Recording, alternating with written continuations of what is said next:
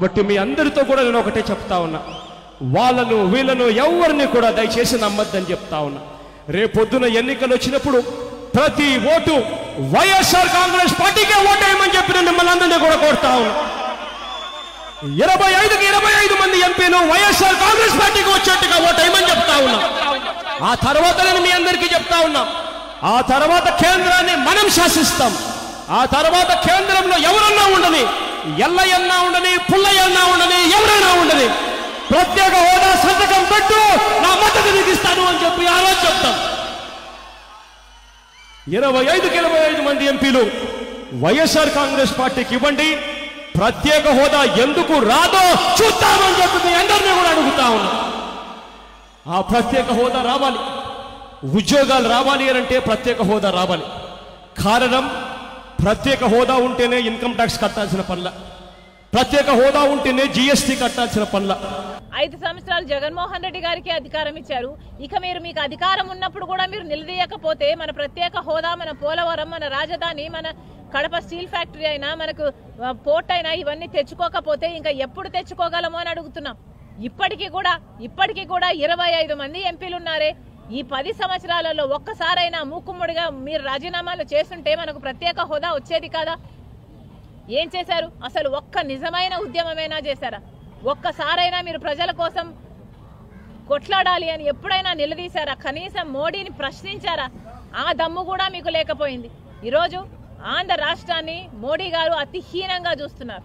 నలభై ఆరు లక్షల కోట్ల బడ్జెట్ అయితే ఆంధ్ర రాష్ట్రానికి ఏం చేశారో మోడీ గారు? మోడీ గారు మోడీ గారు ఈ జగన్మోహన్ రెడ్డి గారు టీడీపీ చంద్రబాబు గారు సమాధానం చెప్పాలి. మరి మోడీ గారు మనకి ఏమి చెయ్యనప్పుడు మీరు ఎందుకు గులాంగిరి చేస్తున్నారో కూడా సమాధానం చెప్పాలి.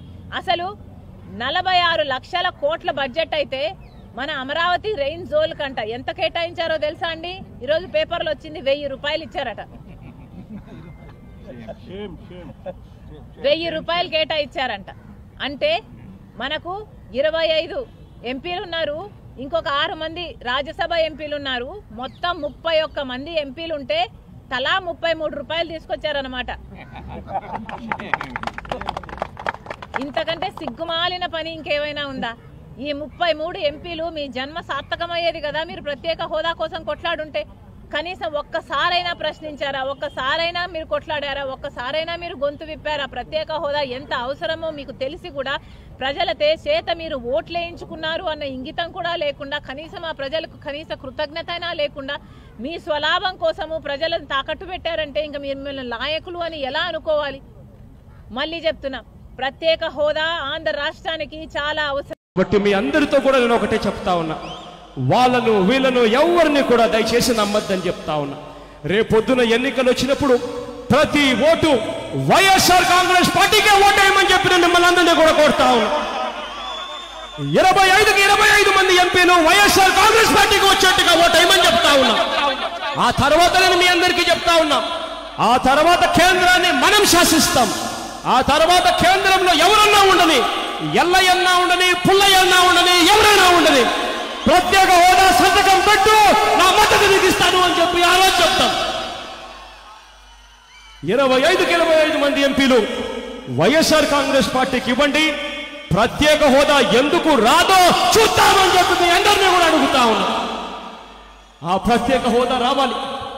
ఉద్యోగాలు రావాలి అంటే ప్రత్యేక హోదా రావాలి. కారణం ప్రత్యేక హోదా ఉంటేనే ఇన్కమ్ ట్యాక్స్ కట్టాల్సిన పనుల. ప్రత్యేక హోదా ఉంటేనే జిఎస్టీ కట్టాల్సిన పనుల. ఐదు సంవత్సరాలు జగన్మోహన్ రెడ్డి గారికి అధికారం ఇచ్చారు. ఇక మీరు మీకు అధికారం ఉన్నప్పుడు కూడా మీరు నిలదీయకపోతే మన ప్రత్యేక హోదా మన పోలవరం మన రాజధాని మన కడప స్టీల్ ఫ్యాక్టరీ అయినా మనకు పోర్ట్ అయినా ఇవన్నీ తెచ్చుకోకపోతే ఇంకా ఎప్పుడు తెచ్చుకోగలము అని అడుగుతున్నాం. ఇప్పటికీ కూడా ఇప్పటికీ కూడా ఇరవై ఐదు మంది ఎంపీలు ఉన్నారే. ఈ పది సంవత్సరాలలో ఒక్కసారైనా మూకుమ్ముడిగా మీరు రాజీనామాలు చేస్తుంటే మనకు ప్రత్యేక హోదా వచ్చేది కాదా? ఏం చేశారు? అసలు ఒక్క నిజమైన ఉద్యమమైనా చేశారా? ఒక్కసారైనా మీరు ప్రజల కోసం కొట్లాడాలి అని ఎప్పుడైనా నిలదీశారా? కనీసం మోడీని ప్రశ్నించారా? ఆ దమ్ము కూడా మీకు లేకపోయింది. ఈరోజు ఆంధ్ర రాష్ట్రాన్ని మోడీ గారు అతి హీనంగా చూస్తున్నారు. నలభై ఆరు లక్షల కోట్ల బడ్జెట్ అయితే ఆంధ్ర రాష్ట్రానికి ఏం చేశారో మోడీ గారు? మోడీ గారు మోడీ గారు ఈ జగన్మోహన్ రెడ్డి గారు టీడీపీ చంద్రబాబు గారు సమాధానం చెప్పాలి. మరి మోడీ గారు మనకి ఏమి చెయ్యనప్పుడు మీరు ఎందుకు గులాంగిరి చేస్తున్నారో కూడా సమాధానం చెప్పాలి. అసలు నలభై ఆరు లక్షల కోట్ల బడ్జెట్ అయితే మన అమరావతి రెయిన్ జోల్ కంట ఎంత కేటాయించారో తెలుసా అండి? ఈరోజు పేపర్లో వచ్చింది వెయ్యి రూపాయలు ఇచ్చారట. వెయ్యి రూపాయలు కేటాయించారంట. అంటే మనకు ఇరవై ఐదు ఎంపీలు ఉన్నారు.